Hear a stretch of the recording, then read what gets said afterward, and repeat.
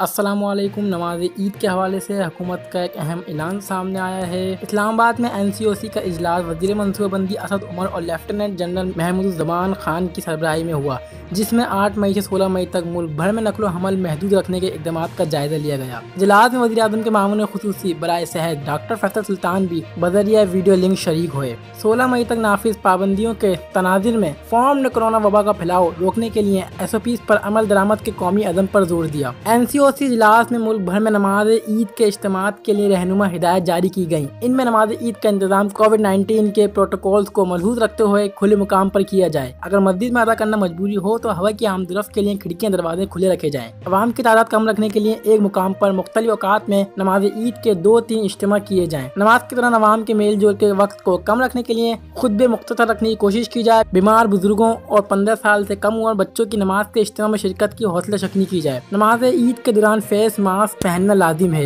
इलामिया के मुताबिक लोगों के एक दूसरे से टकराव से बचाव के लिए नमाज़ के मुकाम पर मुतद दाखिली व खारजी रास्ते रखे जाएँ। इज्तिमा गाँव में दाखिले के वक्त नमाजियों का जिसमानी दर्जा हरारत देखा जाए। दाखिली व खारजी मुकाम पर सैनिटाइजर की दस्तियाबी और इस्तेमाल किया जाए।